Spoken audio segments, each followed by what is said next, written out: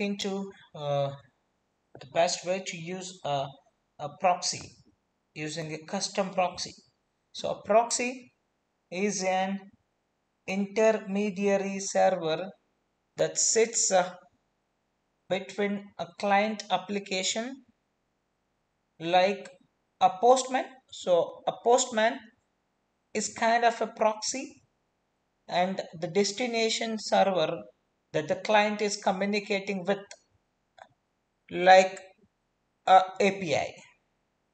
So the proxy server acts as a security barrier making requests on your behalf to websites and other internet resources and preventing others from accessing your internal network uh, by default the postman desktop app uses your system's configured proxy to send API requests or access the internet. If needed, you can enter authentication details for the default proxy in the Postman desktop app. You can also configure Postman to use system proxy or a custom proxy when sending requests. So let's uh, configure the default proxy. So if we have configured a proxy for our local system, the Postman desktop uses uh, uh, the Postman desktop app uses this proxy by default to send API requests or access uh, any online so resources. So let's select uh, to configure the default proxy. So what we are going to do is in the we will get into the Postman desktop app and specifically the settings uh, uh, icon. That's where on the uh, the settings icon which is in the header and we will select that settings icon and then we have to select the proxy tab. You see that? A scratch pad. Click on settings. Inside the settings icon click on settings. Then we'll find the proxy tab here. You see that? You, you click on proxy tab. Then under the default proxy configuration select the checkbox uh, next to this proxy requires authentication. So we have to check this. This proxy requires authentication.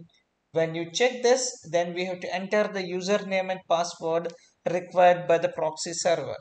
You see that? We have to give username and password and then once you give the username and password then we have to click save and restart the postman. That's it. So that's how we can use our this thing or use our uh, proxy authentication. And we can also uh, use a proxy. We can use the system proxy for requests also. For that under the proxy configuration you see that? Proxy configuration for sending requests. So specify a proxy setting to act as an intermediary for requests uh, sent through the builder in postman. So these configurations. So now here we use the system proxy. This is the system proxy. The top one is the default proxy.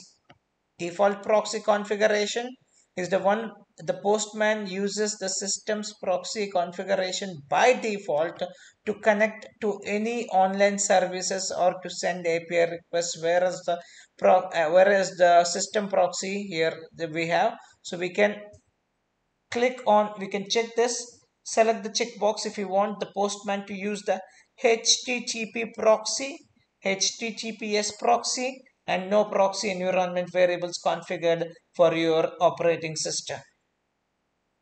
Then we have few more options down add a custom proxy configuration.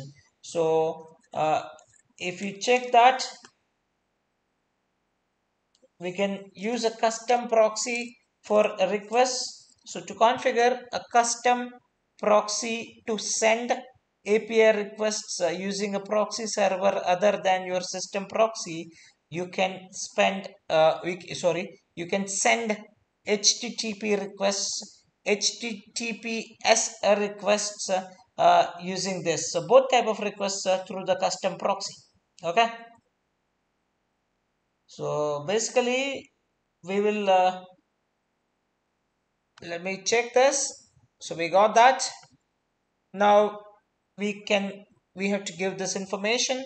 So now we have to enter the uh, the following information. The first one is proxy type. What is a proxy type? So we have to select the type of uh, requests you want to send through proxy server, either HTTP and HTTPS. Either of these are selected by default. So normally both are selected by default. So you can select either of this or both. So then it's asking proxy server. So we have to enter the host name or IP address of the proxy server and the port number. So if we include the port number, so where the server, the service is running, so then obviously we can use that proxy server. So here you can see the port number. Okay, just IP and then port number. So then we have proxy auth that's in off. So authentication, just turn this toggle, turn this toggle off toggle if the proxy server requires a basic authentication and enter the username and password here for the proxy server. Then we have the proxy bypass. So uh, enter a comma separated list of hosts requests uh, sent to these hosts won't use the custom proxy. So that's how we can add a custom proxy configuration.